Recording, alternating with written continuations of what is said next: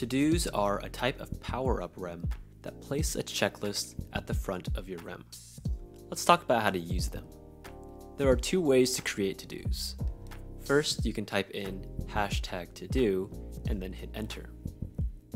The second way would be to use the hotkey Control plus Enter, which is my preferred way. And that's because using Control Enter allows you to toggle through the options of the to-do. So for example, if I keep pressing Control plus Enter, it'll check the box, slash through, and then uncheck the box. So that's basically how to use to-dos in your document.